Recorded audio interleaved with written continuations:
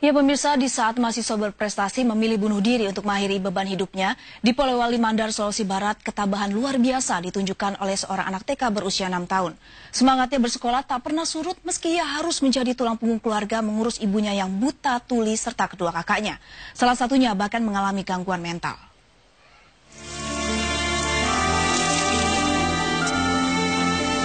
Perkenalkan, bocah yang masih duduk di bangku PAUD ini bernama Muhammad Ali. Mungkin seperti namanya, Muhammad Ali cilik ini juga tak kalah perkasa dibanding nama petinju legendaris yang disandang menjadi namanya.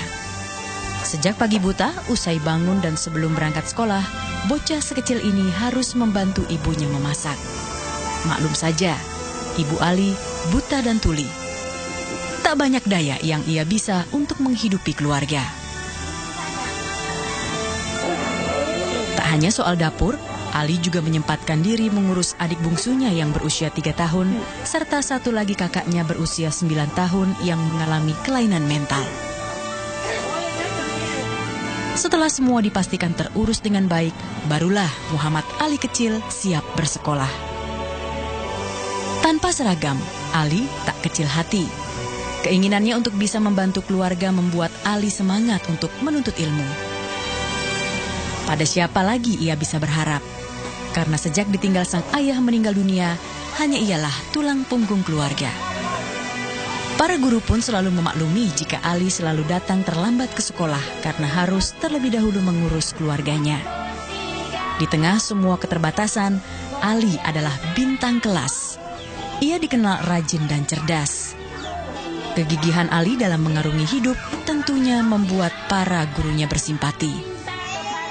Memang kami lihat jarang jajan kan siang, jarang jajan. Kemudian dia bawa nasinya itu cuma nasi sama garam saja jadikan laut. Hmm. Lauknya itu garam dicelup di nasinya baru dimakan. Memang sering begitu Ali itu? Iya sering. Jadi kami punya inisiatif dari tendik-tendik ini dari hmm. gurunya. Biasa kami kasih uang seribu rupiah, lima ratus rupiah untuk beli kerupuk. Namun pemberian yang ala kadarnya itu memang tak seberapa ketimbang kebutuhan hidup keluarganya. Karenanya, untuk menambah penghasilan, bocah cilik ini masih harus mengorbankan waktu bermainnya untuk bekerja di kebun milik warga sepulang dari sekolah. Dia pungut lansa.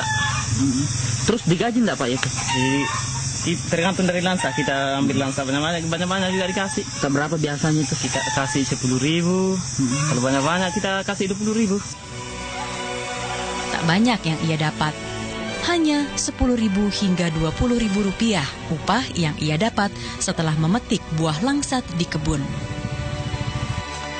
Di saat anak seusianya puas bermain, Ali harus mengorbankan masa kecilnya dengan bekerja keras menopang kehidupan keluarganya. Entah di mana peran pemerintah daerah setempat di saat ada warganya yang belum cukup umur harus menanggung beban sendirian. Uzair Zainal, MNC Media, Poliwali Mandar, Sulawesi Selatan.